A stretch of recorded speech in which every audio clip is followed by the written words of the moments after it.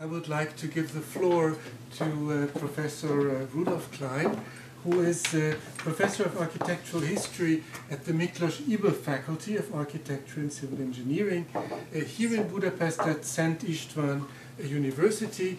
And Professor Klein is an old friend of CEU.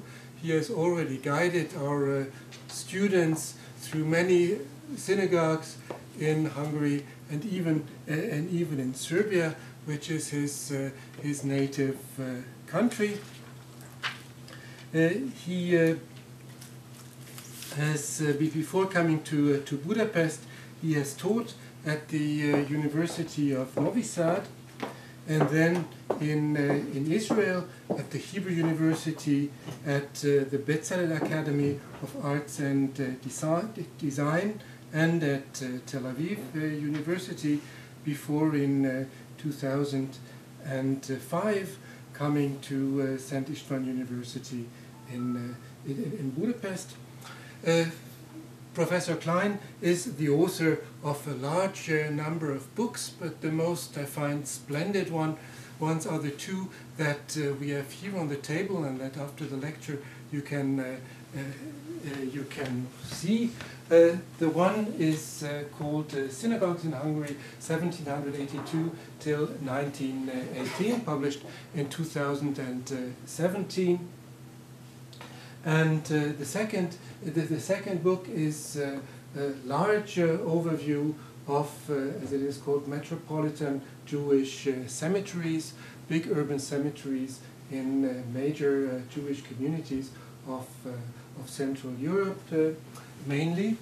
And uh, Professor Klein is, has, has presently an exhibition uh, at the uh, Art uh, Exhibition Hall in Heroes uh, Square here in the 6th district of, of Budapest with his photos of cemeteries.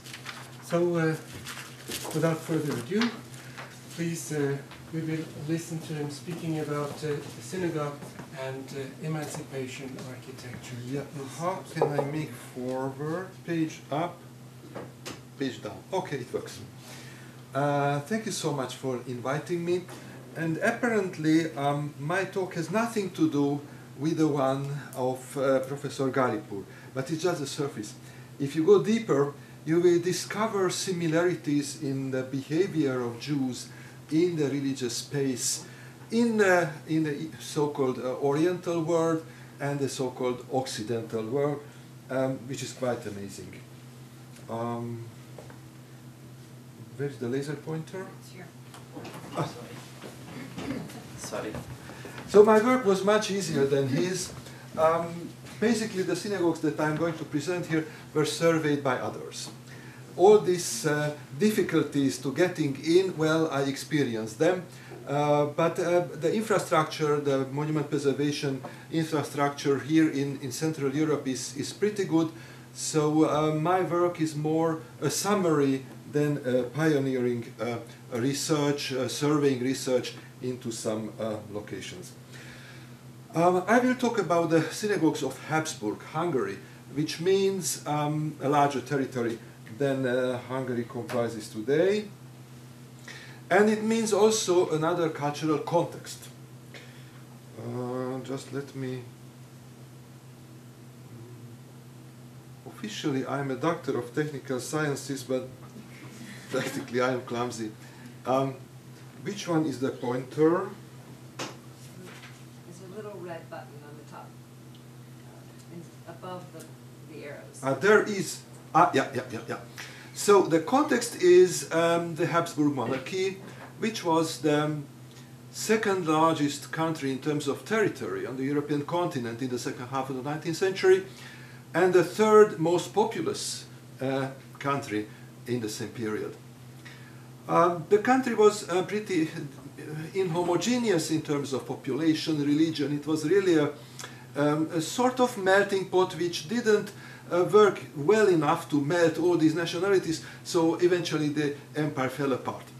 Uh, but in the best period uh, that we in Hungary used to call the period between the Ausgleich, the Austro-Hungarian compromise, and World War I, was uh, still a period when this melting pot um, did work, and uh, there was an intercultural interaction uh, between these populations. This is an ethnic map of the empire.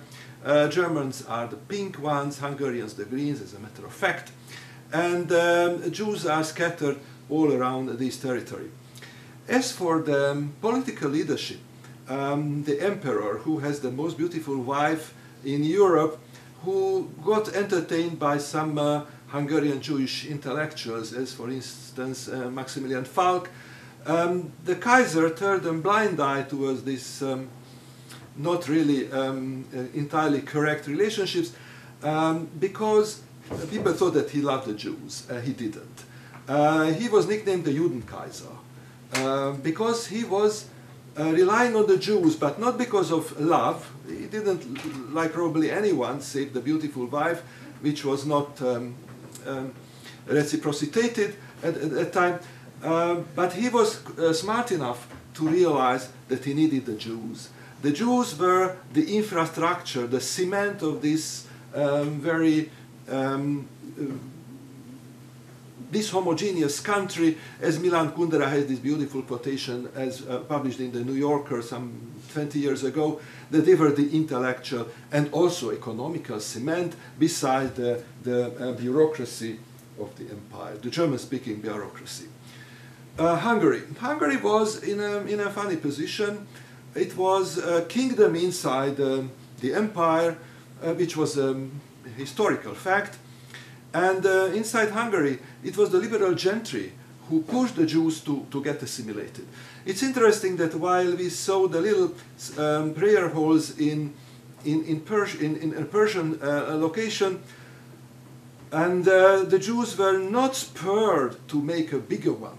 Here in Europe, it was the way around. When the first big synagogues appeared in Germany, in the Heidereuter uh, Strasse or Gasse, I'm not sure, in Berlin, uh, it was the German and the Prussian secret police, police who offered the Jews a big synagogue because in a big synagogue Jews could be easier controlled because they were afraid of the Jews speaking a foreign language, foreign script, conspiracy, and so on and so forth. So basically, the big synagogue in Europe is not a Jewish initiative uh, at the first round, but it is uh, uh, pressure from, uh, from the Gentile environment. Later on, the Jews, uh, wealthy Jewish families in Austria-Hungary, used it as a manifestation of their social success, um, but it is, it is quite different from um, the general situation. Now, uh, what was the general consensus about the Jews? Um, uh, it is Ferenc Deák, who was the um, sage of the Hungarian nation, who likened Jews um, to the salt, of which you need a pinch of uh, it in all your meat, meals, but too much spoils the food. So this is this ambivalence towards the Jews. On the one hand, they are needed, you know, to make the, the food tasty. On the other hand, it's too much, then, then it's dangerous. And this politically incorrect um, statement actually, actually describes quite well um, the Gentile attitude vis-à-vis -vis the Jews in the second half of the 19th century, in the first half of the 20th. Um, then, uh, around 1900, when the Jewish community of Hungary numbered more than a million people. Uh, that was roughly 5% of the general population. And this percentage went up to 23.6 in Budapest. So practically every fourth citizen of uh, uh, the capital city was Jewish. Uh, not counting um, um, mixed marriages and baptized Jews, so it might have gone up to uh, even 30%. In this period, Jews were culturally so present, present that uh, many Christians voiced um, a fear that um, this salt is too much. Yeah? So the, the Hungarian Jews are uh, turning the Hungarian society into something Jewish-like. Now this um, idea of Jewish-like and Jewish vis-a-vis -vis Gentile and Christian was already debated in the mid-19th uh, century in Germany by Karl who was the leading art historian of the 19th century, producing an um, art history encyclopedia of some 12 volumes, even in the, in the age of internet, something um, to be um, um appreciated.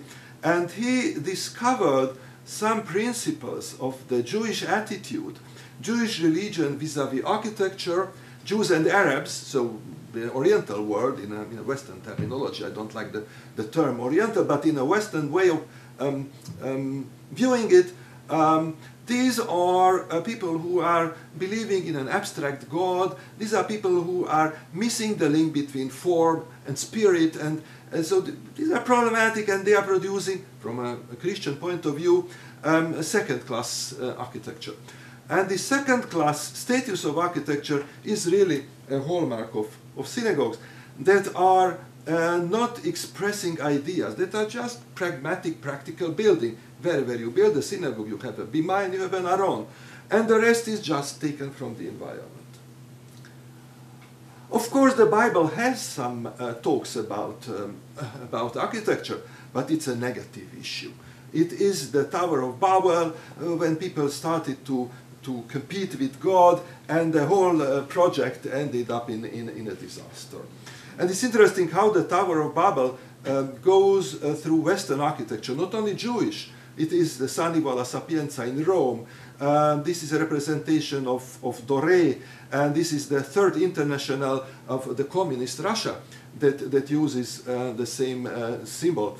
And it goes on with Zvi Hecker and goes on with Peter Eisenman with the Max Reinhardt House in, in Berlin.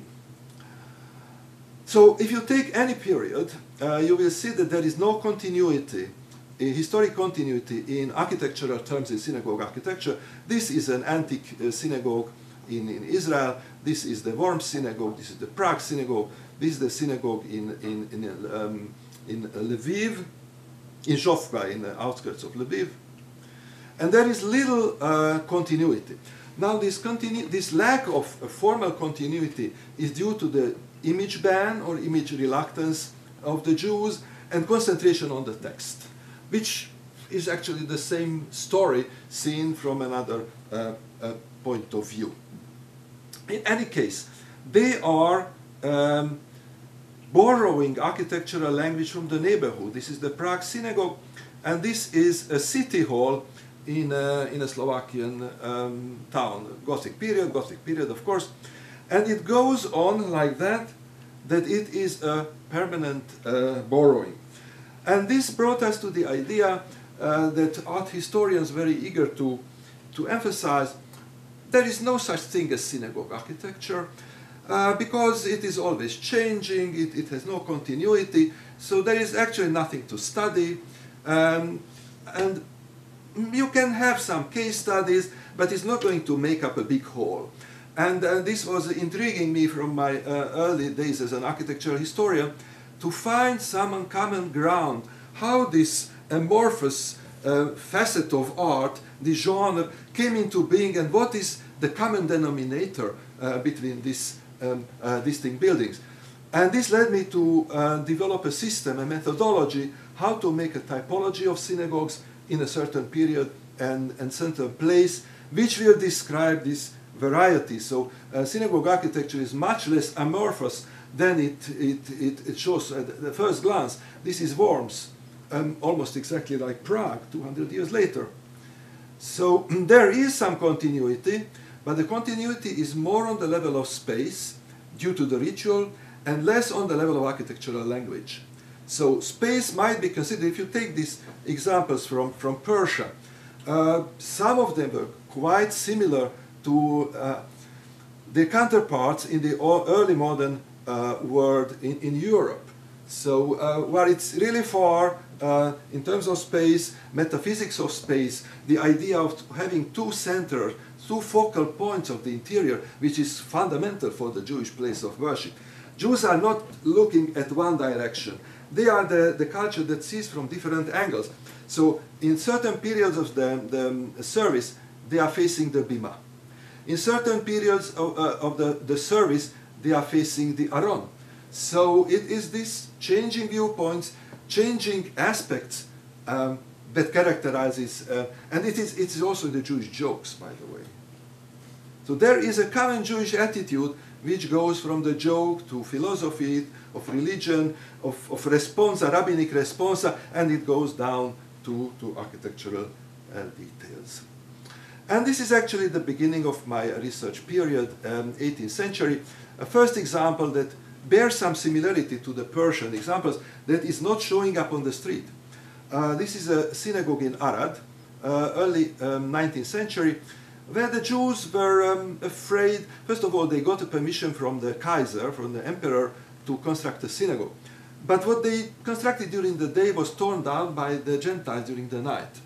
So they came to the conclusion that they should build a building which looks, looks like an apartment block, and inside you have a genuine uh, synagogue space, which is absolutely uh, paradigmatic. You have uh, the Bima, you have the Aron, you have the Ezrat Nashim. Also, Ezrat Nashim is a notion that you heard. It was a bit differently spelled in, in Persian, but it is uh, roughly the same, uh, the Hebrew uh, notion. Here you have uh, the view towards the ceiling.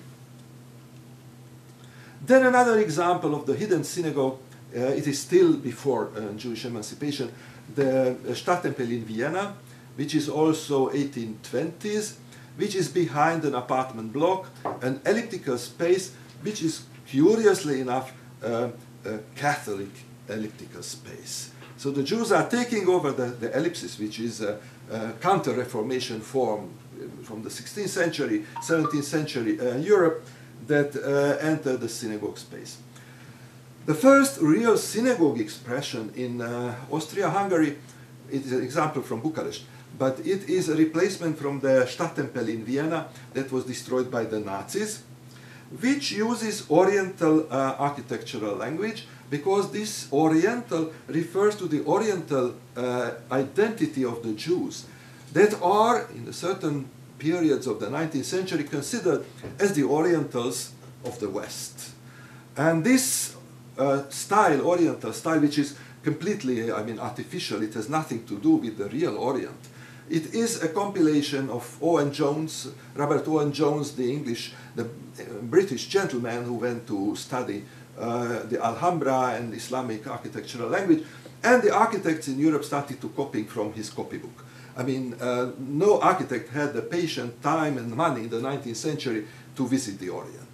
So the Oriental style became a, a mock style uh, which was somehow uh, commensurate with the, with the social and cultural uh, standing of Jews um, in the period uh, society.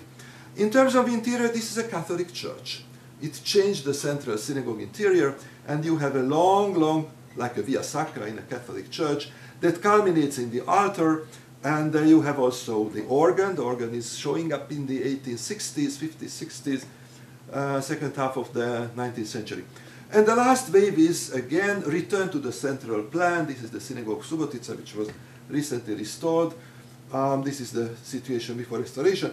And this is an example of mid uh, uh, interwar period synagogues that are also going back to some Orientalism, particularly the architecture of uh, the Holy Land uh, in the Mandate, Mandate uh, period under the British uh, crown. So this was a general introduction, and uh, now I would like to show you the Jewish mm, pattern of migration, which is a very important factor in terms of synagogue architecture, because unlike the Christian church, churches, which are basically hierarchy organized, particularly the Catholic Church, um, the Jewish communities are all independent. They do have an umbrella organization, but they can listen, but they need not listen. So uh, this is the situation that in one city you have completely diverse synagogues. This is this uh, issue in Persia that you have a complex of three buildings that are different in terms of right, that are different in, in terms of service, and there are many examples in other places. In Jerusalem, you have the five Sephardi synagogues, which is a similar complex. Then you had late medieval uh, complex in Frankfurt and Erfurt. So there were synagogues with, with uh, these multiple options of, of um, having um, uh, different communities inside the community as an umbrella. Now, this is a short architectural history of the 19th century synagogue architecture, starting with the late Baroque, Actually, the 19th century, we speak about the long 19th century, it means that 19th century starts with the French Revolution and ends with World War I. And it is really, um, can be substantiated in architectural terms. You have the central plan, which is the traditional synagogue. Wherever you turn, synagogues will have a central plan, and this is in the Islamic world, it is in the Buddhist world, wherever you turn, this is the traditional synagogue arrangement. Under the influence of Christianity, particularly in Austria-Hungary, which was an officially Catholic country despite the Protestant minorities, the synagogue changes the interior and uh, becomes uh, longitudinal, like the Dohány.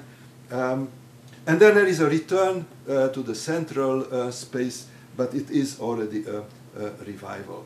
In terms of architectural styles, it could be observed that there is a slight delay. So this is the mainstream, the church architecture, Baroque, neoclassical, which ends early in churches, and then you have a relatively long Romantic period, which uh, ends up in the free style, and you have Art Nouveau.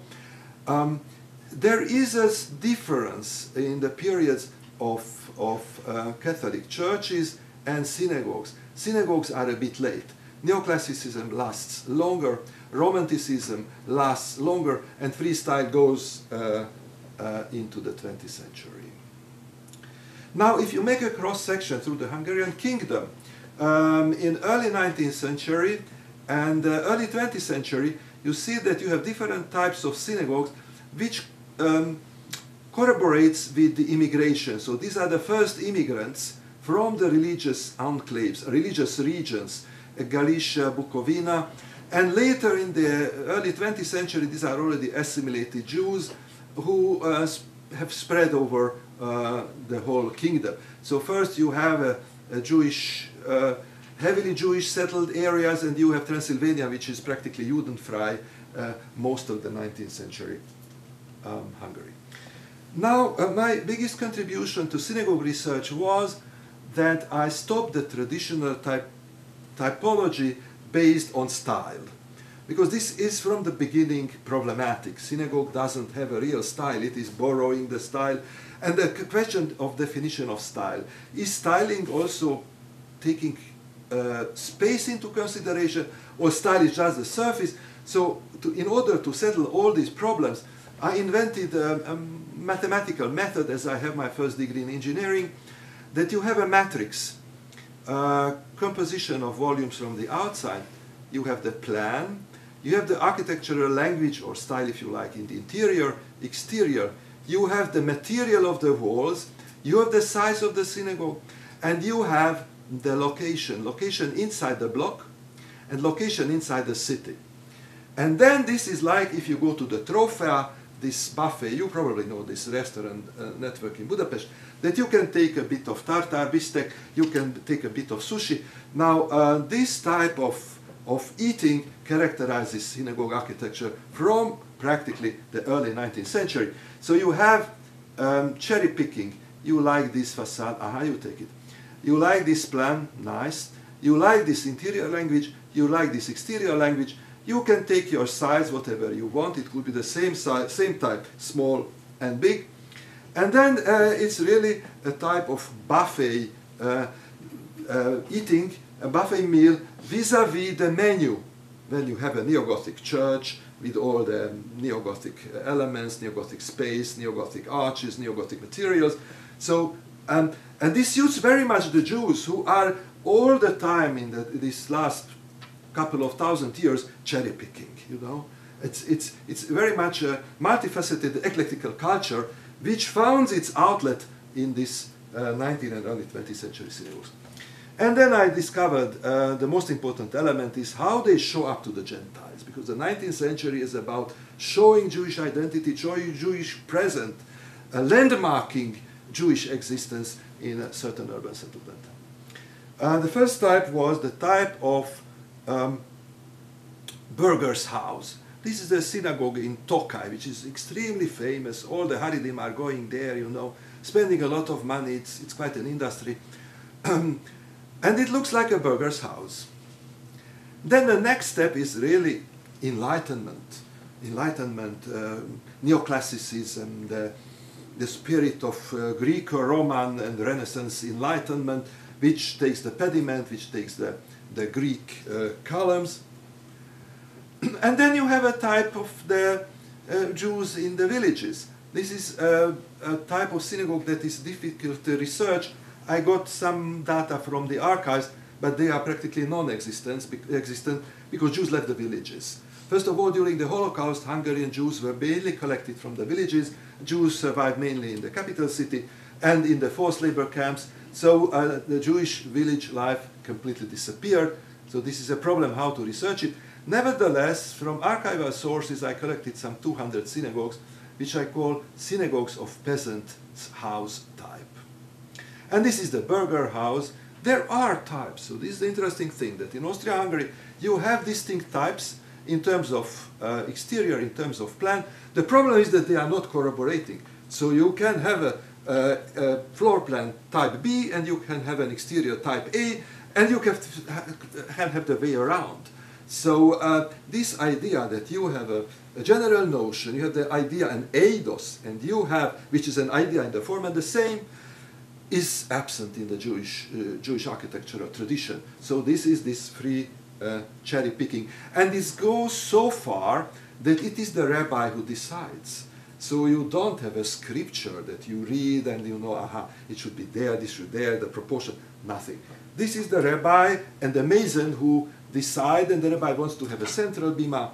And when he passes away, then comes another rabbi, destroys the bima in the center, puts a, a bima in front of the aron, which is an element of emancipation. And then comes a third rabbi who says, no, no, no, no, it's, it's, it's goyish. Let's put the bima in the middle of the space.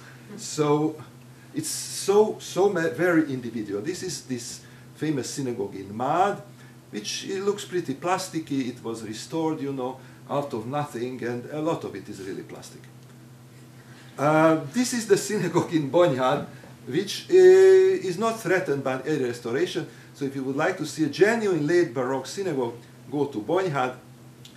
Um, this is Stupava in, um, in Slovakia, not far from Bratislava, which is the same four-column type, which has its mystical uh, roots back into to the Bible and, um, and the Kabbalah.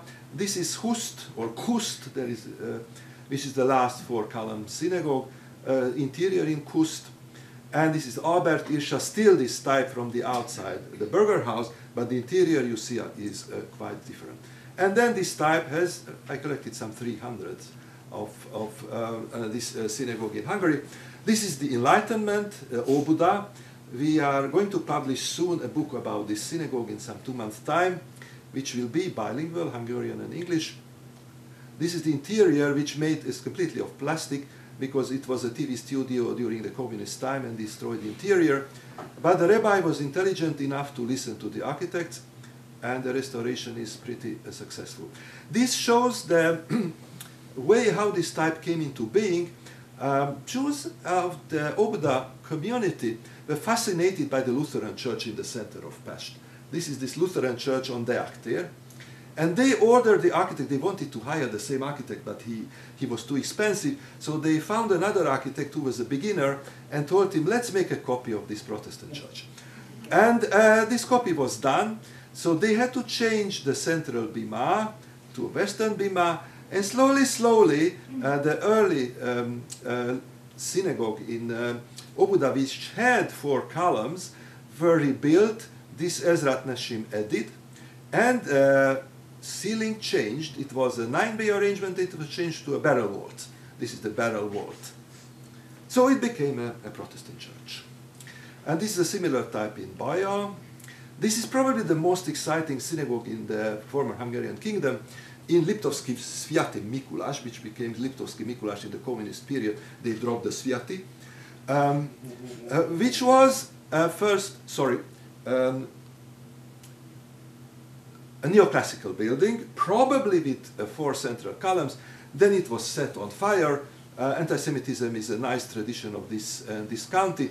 And then they built an Oriental-style synagogue, but retained the exterior. So the exterior neoclassical shell remained, and they changed the interior three times. Uh, there was a second arson attack uh, at, uh, in 1905, after which it became a L'Art Nouveau, and the architect was uh, Leopold Baumhorn. And it shows the versions, how architecture uh, changed. And then this type goes on. Now this is the first type of emancipation, the Catholic interior, which I uh, call the, the, Jerusalem temple type because the facade looks like the Jerusalem temple, but the interior is a Catholic church. And this is already emancipation when they start to find a common denominator uh, between the uh, uh, Christianity. Christianity and uh, baptism in 19th century Jewish tradition is not apostasy. It is joining the world religion, which makes a difference.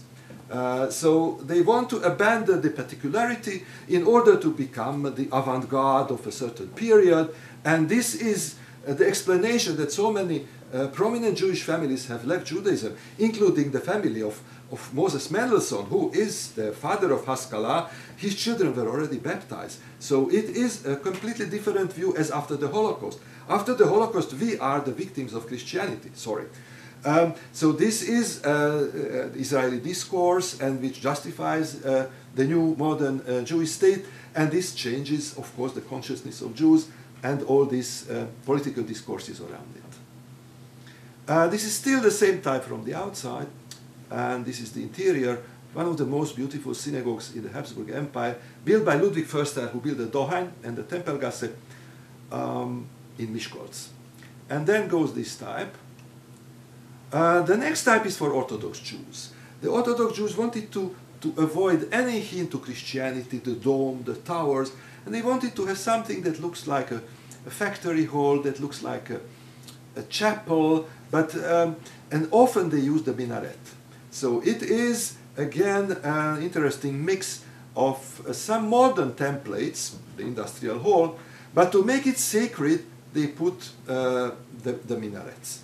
Uh, which is a, proposition of Jews at the Orientals of Europe.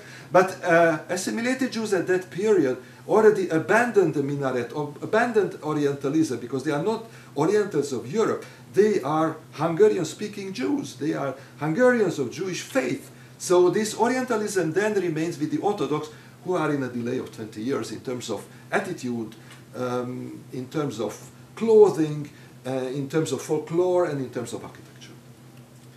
And these are these Orthodox uh, synagogues of factory type. And then the coronation are two types, the Catholic Church type and the Byzantine Church type. This is the Dohány. It's really the breakthrough synagogue in, in Europe. Um, it precedes the Oranienburger Strasse, some 12 years. So this is the first big Jewish temple with 3,000 seats, um, which is a mix of the Frauenkirche in Munich, which is the biggest medieval church in, in Europe, and a hypothetic synagogue project of the 1840s um, from the German um, competitions to find the ideal synagogue plan. And then these two towers, actually um, the community didn't want to have it. The community wanted to have a dome, to have a very pompous solution.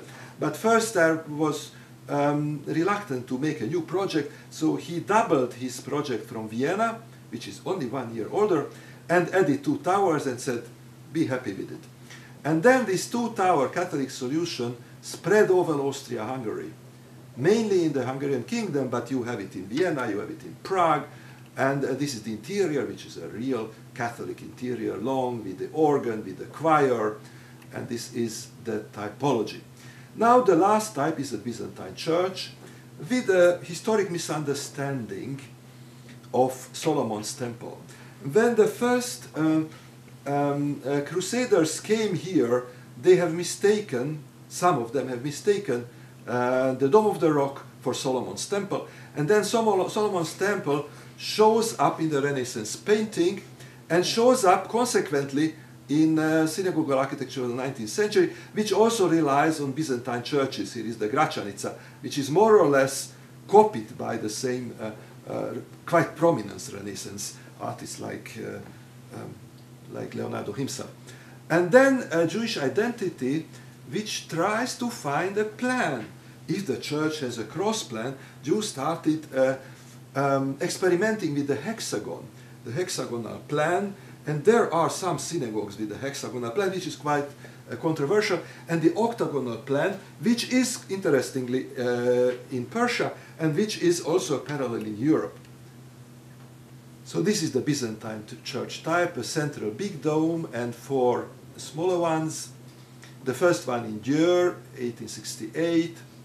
Uh, it is Győr, Győr interior. It's now a music academy And the gallery here, you have modernist Jewish artists like Moholy Nagy, Kassák. Uh, um, um, was not Jewish, but Kassák's uh, students, Ország Lili and some others. And you have concerts also. And this is this type spread all over uh, the empire. And this type shows up also in Germany later in the proto-modern period. This is Szeged. Uh, Szeged is the most pompous Art Nouveau synagogue, which is actually not Art Nouveau in terms of style, but in terms of spirit. And the real Art Nouveau synagogue in Subotica, which has these Hungarian motifs. Um, the Jews in the um, areas inhabited by, by minorities tended to be more Hungarians than the Hungarian. So uh, they were actually playing the role of Hungarians among Serbs, Croats, Romanians, whatever, Ruthenians, they were the, the Hungarians. And uh, this is the reason that they use the Hungarian folklore. And of course, a modern structure, it's a shell structure in 1902, which is absolutely extraordinary. And then it goes into the modern period with reinforced concrete, as is the synagogue in uh, Trencin. And then this is the catalog of this time. Uh, I still have, I guess, some five, six minutes. And I will talk about the urban aspect, which was quite fascinating in the, in the uh, Persian um, examples. Synagogue in the, and the city. Um, before emancipation, Jews inhabited the outskirts in terms of uh, urban location, and the synagogue was in the middle of the plot. It was not allowed to show up on the street. This restriction lasted officially until 1840, but even after that, Jews uh, liked to have uh, a fence in front of the synagogue. And it ended up in Kecskemét, where the synagogue shares a prominent uh, place on the main square with the Catholic Church, Protestant Church, um, two Protestant churches actually, Calvinist and, and, and the Lutheran, and the City Hall. So this is really a parliamentary democracy uh, in, the, in the late uh, Habsburg period. Now, uh, medieval situation is very similar to what we have in the Islamic world, mm, the hidden synagogue, which goes below the surf, uh, surface of the earth. But this goes on the early modern period as well.